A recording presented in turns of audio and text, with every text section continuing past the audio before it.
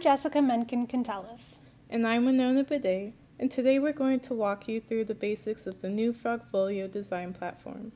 This is what you will see when you first create an e-portfolio using Digication. Each component on this page is organized as a separate module and can be changed. We'll talk about changing them in a moment. The new Frogfolio organizes sections on the page visually with slides. When you begin your new ePortfolio, each page will start with one slide, and whether you want to add more is up to you. We'll talk more about slides in a later video, but if you would like to add another slide, you can do this through the Add Content button at the bottom right of the page. Let's talk first about the text module. When you click in the area containing the text, you should see these four icons. The first icon, the pencil, can be used to add written content into the module. If you highlight a word, several options appear, enabling you to bold, italicize, underline, and add hyperlinks. You can also differentiate text by changing some text to a heading, or change it back to a paragraph. You can also add bulleted lists, numbered lists, and quotations. The second icon takes you to the Customize Styles setting page. This page provides many style options to help you personalize your text in whatever way you'd like.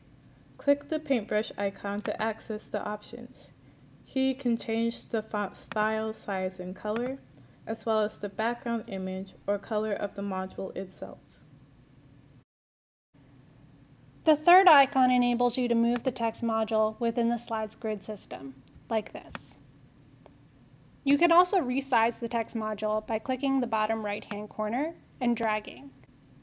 If you somehow manage to put more text into the module than shows, you'll see a resize to see hidden content flag. If for some reason you don't have hidden content and this same flag appears, don't worry. When you switch to Publish View, as we'll show you in a moment, that flag will disappear. The fourth and final icon is, is the Delete option. When you click on this, a message will appear asking if you are sure you want to delete the module. If yes, type delete. But be aware that once you delete the module, you will not be able to get it back. To make your changes public, go to the upper right-hand corner of the page and use the Publish drop-down menu.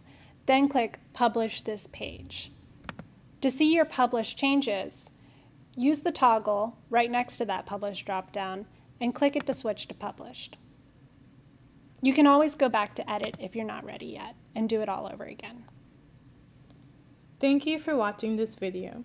If you have any further questions, please feel free to visit us in the Frogfolio Lab in Rees-Jones 101.